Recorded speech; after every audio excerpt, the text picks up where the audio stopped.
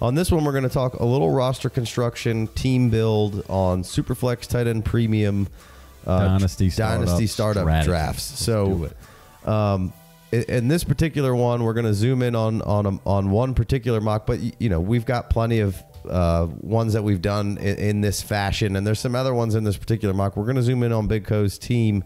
Basically, we we went no quarterback, or he went no quarterback uh, for a while, and then we're going to figure out how to navigate the the QB landscape when you do that, and and the rationales of of why and how, and then we're going to go through like the building the other parts of the team. Maybe several videos on you YouTube people, but on the podcast you'll catch it all in one. So, all right, right off the rip, let's just go through your four picks. I know that was for the people out there. Right off the rip. Uh, that was for the people out there. Um, I'm not drinking because I've been sick. Uh, this voice is sorry about it if it's giving out on me. I'm trying my best. I don't know why I can't get this thing back. It's not sultry. Yeah. Um, you have Justin Jefferson, Puka Nacua, Drake London, and Nico Collins. Those are your those are your first four picks. Now, you know, some people are like, "Hey, I got I got to get these quarterbacks early and often," and I think that's kind of some of the crux of the conversation. Is like, for a while, I'm I've been okay playing this way. I'm not going to get hamstrung by having to take the quarterbacks. If if it's the proper value and right, I will. It, it's nice to take two and set it and forget it and not have to do it, but I don't think you have to. Um, I do like kind of playing it the way I play the running back nowadays of hammering one stud and so like one stud quarterback, one stud running back, and then wide receivers and tight ends for a while, Okay. and then figure out the running back. But I think this is is also a good strategy, especially if the players fall right.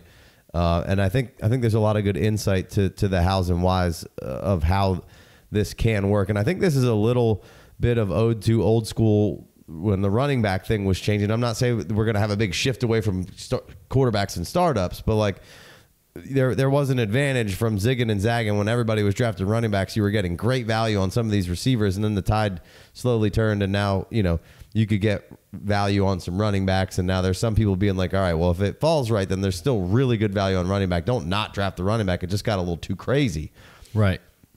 So I'm not necessarily saying that's what the deal is with the quarterback because I just said all that before that, but I think that's kind of a little bit of a version of this is you can you can get really good value because there's so much quarterback action going on uh, in the first couple rounds. So what's the thought process here on your first four picks, Big Co? Well, everything you just said is is obviously accurate. Everybody's hot and heavy on the superflex quarterbacks, and you should. I've said it before. Like the name of your league will tell you the value of the positions. It's a superflex tight end premium league, so you you need to have quarterbacks, uh, and that's the the situation here is. Uh, earlier in the season, earlier in the off season, January, February, all my mocks, you know, a couple quarterbacks at the beginning, uh, rounds three through eight, just see how many nice shiny wide receivers I can stack up, and maybe not even draft with running backs till later with the idea of going, hey, maybe I'll have a spot on my in my starting lineup, really sucking every week, and help me do a little productive struggle without actually being, you know, bad. I, you know, the heartbeat of my team is good. I just don't have good running backs right now, and th- and and this is, you know, this is not the way to draft for sure. Um, the the way to do it is probably get a good run, get a good, get a good quarterback. You can do it any way. There is no way. But You I wanted to build which way. exactly. I wanted to build a good example of you know zig and zag and whatever you want to call it. I wanted to build a good option. I wanted to show an option, um, and you know, yeah, six eight years ago, I would have been running back heavy. I would have had you know Le'Veon Bell and Zeke would have been my first two picks because I would have traded up to get Le'Veon Bell and Zeke, and then you know two years ago I would have been saying, hey, let me get two quarterbacks, and I want my third quarterback by the sixth or seventh round. I want that to be my third, so I can have some currency to trade or be able to deal with that injury, or you know, be able to move around. And so I'm just you know trying to be fluid here, kind of seeing you know Justin Jeff. Th- this was the one five spot, so I had to kind of force this you know exercise on this this mock because I didn't get one seven six seven or eight. You know, passing on Lamar Jackson and Joe Burrow. That's not going to be the the popular thing to do in a superflex startup. The beauty of this is, you know, we'll show it, we'll lay it out. That's the idea. The idea. There's no trades in the mock, obviously. Um, and and you know, let me go ahead and get this out of the way since I haven't been here in a while. Every league is different. Every manager is different. Just had the prime example in FFPC league. Caleb Williams went one five in one of our st- startup. I mean, one of our rookie drafts, non premium, Non-premium, non. I mean, non- tight end premium, non super flex. Yeah. So it was a one quarterback league, and Caleb Williams went one five. And in another league that I'm in that you're not in, Caleb Williams fell all the way to two four to me. So it takes 12 managers to let that happen. It's not like he went one four in one league and one six in another league, and he quote unquote failed. You know, he fed. There was 12 pick Yeah. difference there. So every every startup you do would be you know different managers. If it's all going to be different, but in all the trades that we talk about, they're not easy to make happen. This mock, no trade, straight down the line, all the picks I made. Justin Jefferson, Puka, Drake London, N- Nico Collins. So thought process there is I got my two wide receiver spots full, and I think by the time we get done with this, I think I can show you why I'm contending this year. And those first four sp- first four picks, Nico's the oldest; he's 25. Mm-hmm. You know, so that's you know, I at, Justin Jefferson, best wide receiver to this day, to, to, to as many games played, he's the best wide receiver in the history of the game. We'll see where he goes from here, but nobody's ever done more with less games than him. Hey guys, a quick reminder to head over to patreon.com slash the FF Dynasty to sign up for a free membership to get access to the free Discord channel. Or hit your boys with the $5 holler and get access to extra shows, mock drafts, roster reviews, and also our 2024 rookie draft kit, complete with rookie rankings, ADP, and player pages. All for your pleasure. Puka obviously set all the records as a rookie. That's a fun pick. He's super. He's everybody's darling. Everybody loves Puka. So the value that's insulated into Puka right now. Obviously, got an old quarterback throwing to him, but Stafford, you know, he got a year or two left. But Puka seems to be have four years left. Quick, right. quick go- count my yeah, man come out. On, I- come on, man. Let's go, Stafford. Let's play forever. So the biggest, you know, I don't want to say it was a reach, but I got Jalen, I got Drake London at three eight. So that's the Kirk Cousins bump. Looking for had a plan going in, so it's kind of like you know, spoiler alert. I got Kirk Cousins in a little bit, so it's like I got Kirk Cousins, Drake London stacked there. So I could have Jalen Waddle goes next, so I got Drake London at three eight. I could have easily taken Jalen Waddle, could have easily taken Brandon Aiyuk. Could in a real in a real league, you trade back a pick or three and you pick up a little something for and not have to make that pick there, quote unquote, early. Uh, was prepared if Malik Nabers fell down that far to maybe take him, but he's necessarily not proven either. You know, um, so those first three, and then I might be a little higher on some people than for Nico Collins. Nico Collins Sure. might might slide back three or four or five spicks, you know, five spots from there. I don't know. Um, but the point of that, the point of this exercise is for me to show you, like last year, you know, of course, you know, the Vikings are going to be without Nick Kirk Cousins now. But last year, Justin Jefferson, 20 points a game, right? So my first pick, Justin Jefferson, 20 points a game. Last year, Patrick Mahomes, 18 point in an 18 and a half points game. Sure, he didn't have any wide receivers. Jalen Hurts, 22, Lamar, 21, and the best of all, Josh Allen is 24. Anthony Richardson, per drop back, you know, per game, take out the game where he got hurt and left really, really early, 23. Nobody else is 20 is above 20. So I just said all that, you know, and I'd say Patrick Mahomes because he's the 1 1, 1 2 in every startup draft. He only averaged 18 and a half with, you know, no Yeah. wide receivers. That's what Justin Jefferson averaged. That's 18 what and a half. That's what Justin And, averaged. and and he had a game where he the game he went out he had 5.8. Exactly. So that you know it's going to So that's and, and that's I mean I got 20 year here. before he was like 21 points. Depending on what site you look at, uh, you know, I don't know if this was through week week 18 or week 17. I just click the name on Sleeper. It shows me a points per game in PPR last year. Um, obviously, the quarterback should be pretty standard across the line because that has nothing to do with catching passes. Um, you know, so Justin Herbert, 18 and a half. Kyler Murray, 19. Uh, Brock Purdy, 18. Dak, 20 points. So that my point is, my first pick, it scores the exact same amount of points as any other quarterback in the league outside of the three or four that was already drafted before I got my got on the clock. You know, so my I, and it's a wide receiver. So you you'll see where I'm going with this. So Puka 17 and a half points last year per game. So my second pick scores as many points as almost every other good wide receiver. Drake London, sure. There's no passing game in Atlanta the last two years. He only scored 11 points a game. Drake London, my third pick.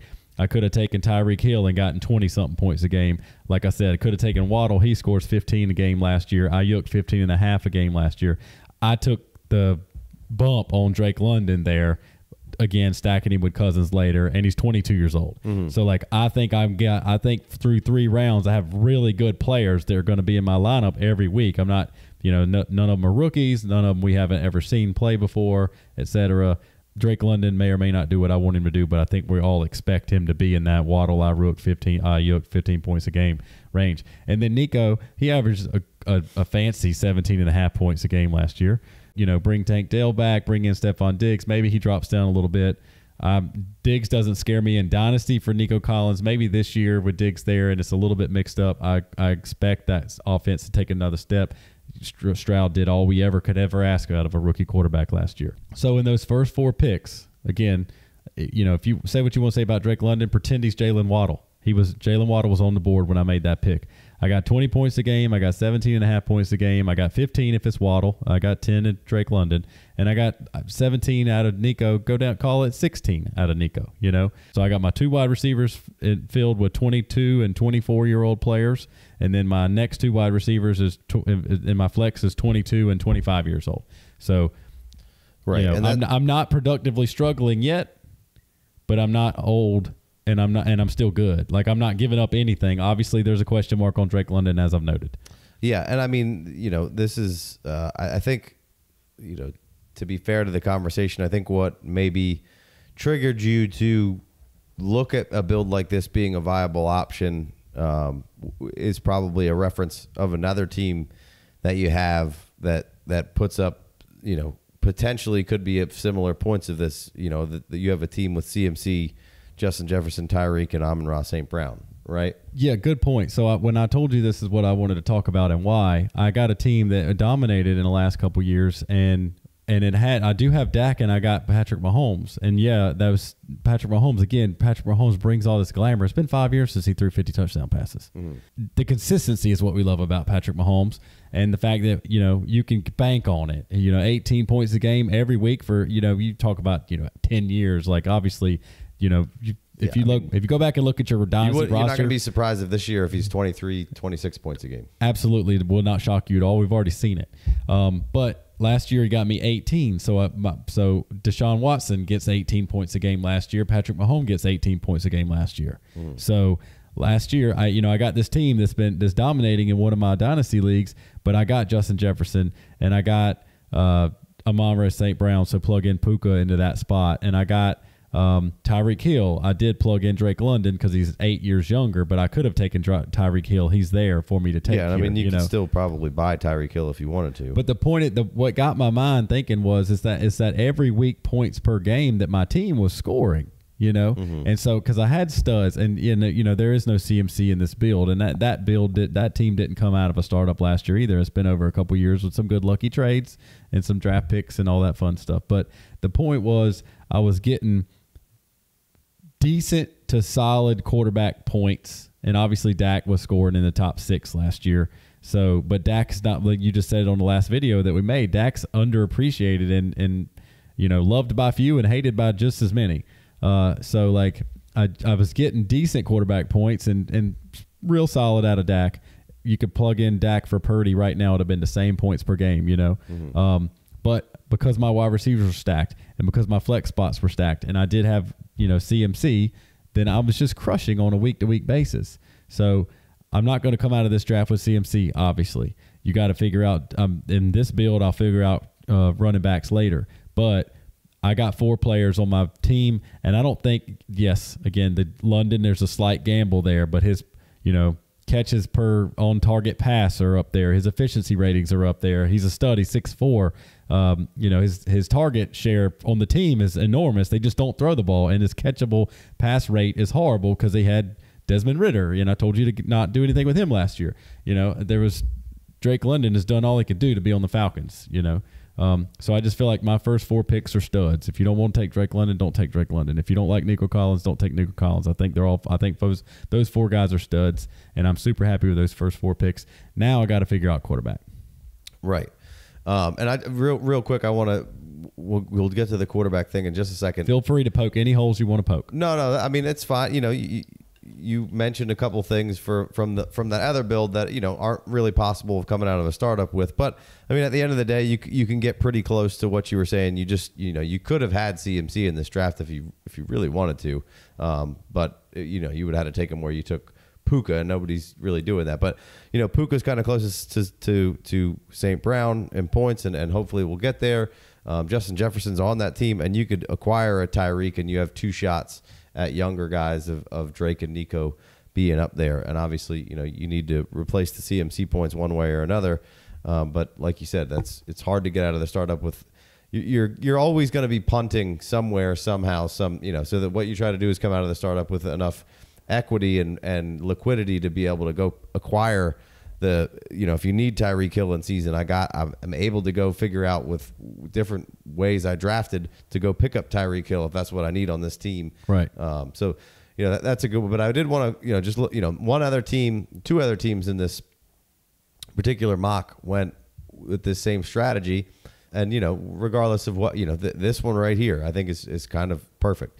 Ja'Marr Chase so Ja'Marr Chase can score justin jefferson like points Hundred- yeah, definitely, We've definitely. it Amon-Ra st brown Yep, that's yeah. christian mccaffrey Okay. and then devonta smith so, Sure. so you know devonta smith is the low man on the totem pole here Yep. but we devonta just goes out there and, and is good week in week out once again it's going to be really hard to get all four of those players that you were talking about on this other team to come out of the startup with but he has he has He damn near did it. three of the four Yeah. and you know you just need to an s you know somebody else throughout this draft to smash and, and you're right there so Mm-hmm. Exactly. uh, that that's the ability there and then the next guy over did the same thing he's got Bijan to start it off with so you know that's your Christian McCaffrey or Right. your Justin Jefferson And he's younger, but he had to do it in the first round, so he gave up. Garrett Wilson could easily be in Justin Jefferson's category if I don't correct quarterback play. I don't wanna- just the way he I- moves, the way he plays, what he can do. We've seen it in a very limited window of how good he can be. He can he has the ability to be up in the stratosphere. He's already at two five. He's one Right. pick after St. Brown. Right. I'm not gonna say anybody can easily be as good as Justin. but he's right there. I, am gonna I'm gonna pump the brakes I, I on think, that. I think he can. I I think he could work his tail off and strive to be he just Justin needs a fucking Jefferson. quarterback. Uh, that isn't Zach Wilson. You can be a really great receiver and not easily be anywhere Yeah, near. well, he's Justin awesome. Jefferson. Uh, Uh, he's already fine. up You there, can be all. The, Justin Jefferson is above, like seven layers above awesome. So anyway, keep going. Yeah. I like Garrett Wilson just the same, but I Yeah. not. well, not- what I'm saying is Yes. he, he can turn into 20 points a game, 22 Yes. points a game without Yes. any problem. Yes. And that's Justin Jefferson territory. Um, maybe not for as long, but then you got Malik Nabers, which is unknown. I'm fine with taking that shot there, uh, but you know that that doesn't give you quite the the mock up of of model that you were looking at because it's unknown with Nabers, but with Nabers fair enough. could his stock is his his stock, stock, is, is, high, and you stock can, is safe. You can Nabers is now a stepping stone if you want him to be. You don't even have to play a single game with Nabers, but then to get up into Garrett Wilson, Amon-Ra, St. Brown, Puka Nacua territory. It's just like we talk about with quarterbacks. You got to have one to trade Right, one. yes. If you can have a guy who could be elite, Yes. it, it's a lot easier to get up in there Great to trade point. you the mystery if, box. If you got Nabers, you can add something to Nabers to get this Amon-Ra St. Brown, and you might not want to make that trade. and maybe maybe that's a terrible trade in two years, but I know, would do it. Right. Uh, it's a no. And then you have Pittman, who's just you know Stud. consistent, and you know you, you just you need Anthony Richardson to be as good as we think he can be, uh, but probably going to score fantasy points without him. So that brings us to the next. All those guys, including you, took quarterbacks with the next pick. So that's why I kind of wanted to bring th- those rosters are the same kind of deal, and Yep. I, I like that all those guys and picks great example i think as well for kind of what you're talking about here. So all right now we have to navigate the landscape of the quarterback here and what you're going to do about it through you know five through eight nine ten here. So what are your thoughts? What are you doing? And and, and how are you approaching it Well, uh, I like that you called out those teams because obviously in the fifth round when I got those first four wide receivers, um, I believe as this was happening, Jared Goff got paid. Maybe it was already done, but I think we all it was already in the talks in the last two weeks leading up through this uh, date that this mock was happening that the Goff and the Lions were knee deep in negotiations and and so we knew that was coming. Um, so in the fifth round, I'm like, I hope I get a chance at Goff we we've talked about Tua recently. Tua goes so both of these teams that you just mentioned, one of them takes Goff, one of them takes Tua. Both of those guys had to pick in the fifth round before me, and then I, so I take Deshaun Watson. I assumed that Deshaun Watson would go later in the draft. I assumed he may hang around. His ADP is like two rounds lower, but when you don't have a quarterback yet, he was like my cutoff line of. You know, if you take one one game last year, Deshaun Watson had like minus eight point eight points. So obviously, you know, he, basically zero points. And so if you take that one game out where he got hurt in you know the first quarter, whatever stat that was, he was he scored nothing. He got minus 0.8. Take that out, he had 18 points a game. You know, he's 28 years old or something like that. And the Browns did nothing but get better this year again. They bring in Jerry Jeudy. They're basically going all in in, you know, the same type of way that the Titans are to build around Levis to see if Levis is any good, to see what they need to do. The Browns are like, dude, we got we are we're going to pay this dude 150 million no matter what. We might as well at least try to be good while he's here. We got an elite defense. Mm-hmm. So good for the good for the Browns. Good for Deshaun Watson. And and Deshaun Watson might not be the taste that the flavor that you want, and I understand that. And 18 points a game, Joe Burrow 18 points a game. Trevor Lawrence 16 points a game. Brock Purdy 18 points a game. You know, we expect Jordan Love to take a, tr- a step up, but you know, Kyler Moore, Murray 19 points game, sure, coming back from injury. There, you know, there's some upside. Those were hey, Deshaun Watson is washed and he's terrible looking plays. Mm-hmm. You know, he's so he's not out there on the fourth year of a rookie quarterback contract like Justin Fields, where he's like getting traded for a six round pick. My man's still got 150 million guaranteed. He's at least a starter for a year or two. And is there gamble in this? Yes, there's a gamble in this. And when I get done talking to you about my team, maybe none of these quarterbacks are on my team in two years. You know, but the point once I get going on my team and I show you how I'm gonna push the throttle on my team, maybe I'm trade. Maybe I'm Deshaun Watson is in a trade with me in week four, week eight, week 12 He mm-hmm. might not be on my team. It might take longer than that for people to become, you know, to get to get in, back in love with him. Well, And- it's a you know it's a good time to reiterate that you know the first four picks that weren't quarterbacks are all young guys. So if, if you can you can pivot and you can move around, you're not really hamstrung to being like, hey, I have to win this year. Uh, we can we can take some shots here in these middle rounds of on these quarterbacks, and if they pan out, then I'm going to be awesome. And if they don't, then I you know I got to I got to move around and This is and true. be fluid. And, and some of these picks in here, I think, help you uh, do that. Well, and again, you know, being being the startup mock and not being able to make any trades to say, okay, well, I was going to take, I want Deshaun Watson, but with everybody left on the on the on the board here, I, you know, Xavier Worthy's uh, the one nine in mo- almost every superflex draft right now. Nobody's giving you Deshaun, giving you one nine for Deshaun Watson. You know, so like you can look, but like we can't have this conversation the right way to make this podcast if I don't take Deshaun Watson. Mm-hmm. If somebody gets him in front of me, that's not like I texted everybody in the league. It's like, hey, let Deshaun Watson slide to me in next round so I can make a podcast out of this. Mm-hmm. So I take him in the middle of the fifth. So, but again, 18 points a game. Now I got my starting quarterback. If there wasn't question marks around him, and you, Brock Purdy is at three seven, he's 18 points a game, and you don't care if he goes up at all. 18 points a game is 18 points a game. Brock Purdy, you know I got him at 19-2, but who Brock Purdy. at three seven. Yeah, I'm saying 19-2 points per game. Okay, we're, okay. Click you know, Semantics. semantics. All right. So one point a game. Yeah. Who who knows? Um, who knows where that week 17, 18 cutoff was when I clicked these numbers? Same, close enough. Um, so I like Deshaun Watson. I personally like what the fact that it looked terrible last year and it was 18 points a game. Yeah, I've been singing those praises all damn since he stopped playing. You know, and It was terrible and it was still decent, still good. Still good, exactly, and, it, and it, it looked bad, and it was still good. So I, I mean, I would imagine it's going to be a little bit better, and if not, a little pie in my face. Again, I still got a, I still got a fine team, Even if it's not better, if it's just the same, the floor was pretty freaking solid. right? So comes back around. I got Brian Thomas, rookie, mm. mystery box, value add kind of guy. Um, and Brian Thomas might not be. I mean, Ladd McConkey was on the board. I already drafted Ladd McConkey in front of Brian Thomas in a, in a rookie draft this year. It's fine. Um, it was more of just like just taking one here and going quarterback next. Didn't want to pound, you know, the purple box two in a row. I was just like, hey, let me get basically got my two wide receivers, got my two flexes full. Now I got a rookie wide receiver, first round draft pick in a, in a, in an NFL draft, first round draft pick in a super flex draft on my bench. Like, you know, like we talk about it all the time. Hey, let me get let me get my upside rising star, best equity, best equity, best player available. Not player, but you know, what is it? Best asset available. Hmm. Let me get my best asset available and then I'll come back with my, you know, Hollywood Brown types three or four rounds from now and pile in some starters that I feel good about immediately. So then we go around to the next round, pick seven, eight, Kirk Cousins. Next round comes back around, I take Penix. So now I'm feeling real good about myself. I got Kirk Cousins, 35, 36 year old quarterback coming back off. His leg fell off last year, so you can only feel really good about that. But I got his backup. Right. The eighth round, the eighth overall pick in the NFL draft.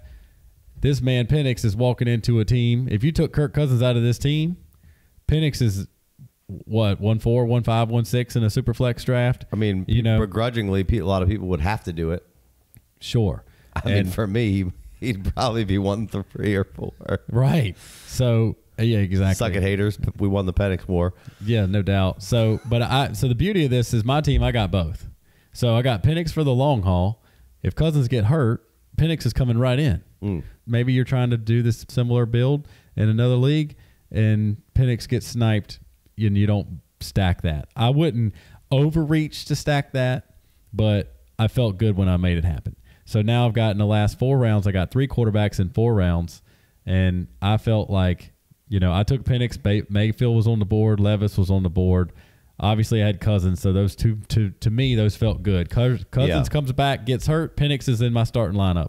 Cousins plays well. Penix is on my bench. Cousins is playing well, mm-hmm. so I got a quarterback. I got my second quarterback is playing well. So I'm doing, you know, I'm fine. If if Penix is if Cousins is playing so well that Penix is on the bench and we're not talking about it and healthy, then I'm fine because now I got a stud and Penix is sitting on my bench. And if you know when that happens, or if Penix plays so good, we've never in the last couple of years in the NFL, we've seen more trades with more quote unquote dead cap and ridiculousness goes going around. Somehow, some way, if Penix is the best quarterback ever, if it, Penix is the next Joe Burrow coming in, Cousins will end up somewhere else if they if he needs to be. Even if it's 24 months, maybe less. It's it's fine. Right. Good for the Falcons. Yeah. Um, and good for my fantasy team right here.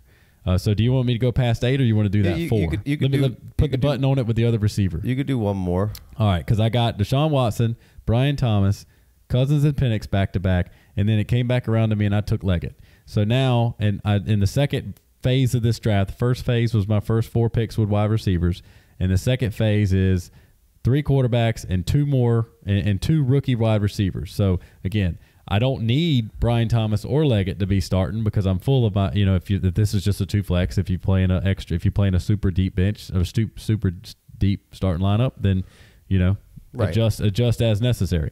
Uh, but now I got Watson as my starting quarterback, Cousins in my super flex, Penix backing up Cousins, and Brian Thomas and Leggett sitting there as values and equity and commodities on my bench, and hopefully ready to take off and soar.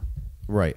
And and you know the idea of Thomas and, and Leggett are are players that you could do one of two things with. You can trade because you know that's somewhere around, for the most part, a first round pick right now in Right. in startups. So that that's kind of their value overall. And, and people kind of know that, so I think that's an easy value for people to gauge and, and get trades going with. Now, maybe you don't like Brian Thomas, like you said. That's you, totally you could fine. go you could go Ladd McConkey. Maybe you don't like Leggett. You could go AD Mitchell there. You could go Pearsall there. You you could have some you could plug some other rookies. It's the idea of having those guys who uh, the perception of the value is already there. The, the, they could go way up. They're they're semi insulated here for at least most of the offseason. Right. Um, Let me jump in there because Sure. I'm glad. Like those picks, those two, Brian Thomas in the sixth round, Leggett in the ninth round, and those other some of those other rookies slide in that scale. Like the biggest thing about them was it's not Terry McLaurin, it's not Davante Adams, and these are names right around in here. Uh, you know, it's not it's not Deebo in the sixth, it's not Devonte in the eighth. You know, it's not Diontae Johnson in the ninth. Although you know Deebo Samuel, Davante Adams, and Diontae Johnson are going to help me win games this year, most certainly way more consistently than Leggett and Thomas. But I've already got my four consistent players up top. Mm-hmm. Obviously, insur- you know injuries and bye weeks, but just you know that's this middle of the this is where in the middle of the rounds of the startup draft, and when I let's just say middle, as in like the first twelve rounds, I'm in the middle, like six, seven, eight, nine. That's where you take to, me. That's where you want to be taking some home run cuts in the middle. Yeah, you know, I didn't take four in a row. I in another mock that we just did the other night, I did four four in a row. But like, you know, Christian Kirk probably going to come in here and be Mr. Consistency and tear it up this year with catches in a PPR league. I think Christian Kirk's going to crush. You can buy Christian Kirk a lot cheaper than you can buy Brian Thomas or Leggett. Um, Marquise Hollywood Brown, eight four. Took him, you know, he he went before Leggett, a round before Leggett, but he went two rounds after Brian Thomas. Marquise Brown could easily go out there and just kill it this year with the with the Chiefs. Well, I hope he. I I pretty much eighty percent expect it and hundred percent hope for it because I got some Hollywood on a team that I really want to win, and so just that that's the point is those seasoned veterans that you can count on for some consistency, but also counting on being depreciating assets can be had later for at this pretty much same value or most likely less value later. Now, we talked about this a couple weeks ago when I was here, you know, when we were talking about um, Saquon Barkley and Josh Jacobs types guys. If, you know, if, if McLaurin all of a sudden has a stud in Jayden Daniels, McLaurin's not going to be as easily to ma- ma- maybe his value goes up a little bit because he's catching you know accurate bombs 50 yards downfield. You know, maybe I just I just don't know which you know if Diontae Johnson is actually you know we know we know he's going to be open because that's what he does. He gets paid to get open and he's good at his job. Mm-hmm. Sometimes he doesn't catch, but he's really good at getting open. But can Bryce Young get him the ball? eight times a game. Is he going to be eight for 80? Because if he is, he's going to be an absolute monster. I think he's going to get 10 targets. Is he going to catch? be just fine. you know, is it seven for 70, 14 points a game? I'll take that. Mm-hmm. Which one is it? Is Cooper Kupp going to be healthy this year and crush, or is he going to fall off? the You know, no matter what happens on any of those scenarios, they're all of those guys in the long. Even yes, Terry McLaurin's killing it. Zoom in to week three. He's on a contenders team. Nobody, they don't really want to trade him right this second. That's fine. Zoom out. My man's 29 years old. He ain't getting no younger. They're all going down. I put two guys on my team that probably are going up, or at least got drafted early enough in the draft, got skills and and God given talent and measurables to keep them in a certain level, best asset available, and I'll work around that Yeah. as we move forward. Yeah, yeah. I, there's, I think there's a whole longer version of this conversation, Much but- longer. But I don't uh, We'll want to jump into it at this particular juncture here. How much time you got, buddy? I did want to go over here and just look at the other two teams that, Please, that did sure the same thing, and, and um, you know they took off in Tua, like you said, and then one of them took Ladd, so that's you kind of right on pace, and then he came back and took Nixon Mayfield, which not all that not all that different than what you did, except not the backup uh, for the guy. He, he he now has three quote unquote starters. Mm-hmm. Um, so when I'm in the seventh, eighth, ninth round, you know, I love uh, Baker in the eighth all day long. Will Levis is interesting in that, and, that, and that's the next guy who uh, didn't didn't take the quarterbacks at the top with the with those other two rosters. Uh, you had Tua, he took Will Levis, and then later he took Daniel Jones um, in the twelfth round. I love that Daniel Jones in the twelfth. And I really like the Josh Jacobs Pacheco that he sandwiched. He took two. He had this is the guy: Ja'Marr Chase, St. Brown, Christian McCaffrey, DeVonta, DeVonta Smith. Those are four studs in your lineup. And Ja'Marr Chase and St. Brown are not old. Neither is DeVonta Smith. I love that, and he does have Christian McCaffrey, so he's coming out. He's ready to roll. Tua Ready to roll. scoring points for all you know. Hmm. Brazilian jiu-jitsu aside, Well, whatever if, happened. if he had a contract signed with the Dolphins, I think everybody feels a lot better. He's probably back up to the third round. Yeah. So and then he goes Jacobs and Pacheco, where you know I went Brian Thomas and Kirk Cousins. And so Ja- he's obviously starting week one. He's better than me. He's starting week one. He's better than me because he's got Jacobs and Pacheco as a RB two and RB three. I don't even have running backs yet, but also he's you know he's got running backs where injuries a little bit more odds are that kind of thing. Now you could say Pacheco is not necessarily any more likely to get hurt than my 36 year old co- Cousins coming back from a Achilles that you know ruptured. So the arguments can be made. I think I really like this team. I like where he went. He took the gamble on Levis. Everything that all the quarterback quote unquote guru said about Levis showed up last year.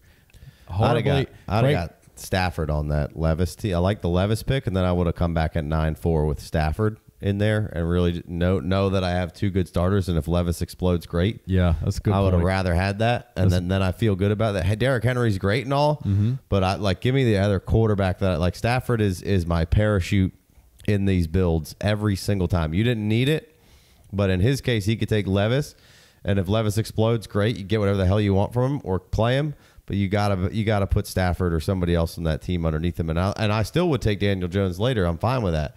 Uh, so I didn't mean to cut you off, but that no, no, and just so this t- this dude's name is B Matt fifteen, and here he got a Chicago Bears symbol. I I really love what he ended up doing with his team. You know, I mean he he took Cooper into tenth. He took he like he.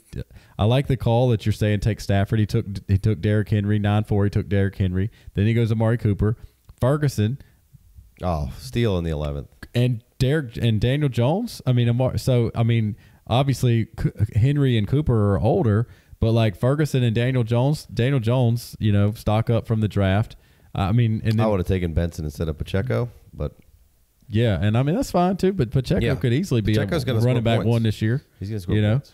so I I really like, and I like the way he finishes up his team. So I like that. And the other guy, like you said, the Bo Nix Mayfield back to back picks. Um, he's got quarterbacks. If if Bo Nix he- works he's out, okay. he's fine. If Bo, I would like you know, to see him get another guy like a Derek Carr or a Daniel Jones down here sure. a little later too, just to get one more that that, that could be a starter for you. Um, if Nix isn't humming or working out, or Nix is exploding and crushing it.